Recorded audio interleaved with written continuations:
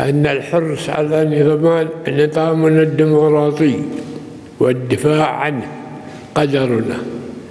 علينا أن نتمسك به ونصونه من كل التواجد من تجاوز على قيمة أو تعد على حدوده أو تعسف في ممارسته لكي لا يصبح معول هدم وتخريب.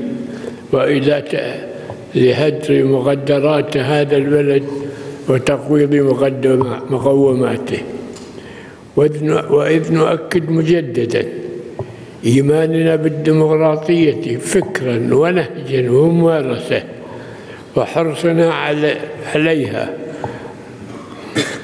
ودعمنا لها. فقد عملنا وسنظل نعمل على ترسيخها ورفع, ورفع قواعدها وكنا نأمل ونتطلع وقد مضى على انطلاقتها الحديثة أكثر من خمسين عاماً أن تكون قد بلغت أو قاربت مرحلة النضج والرشاد.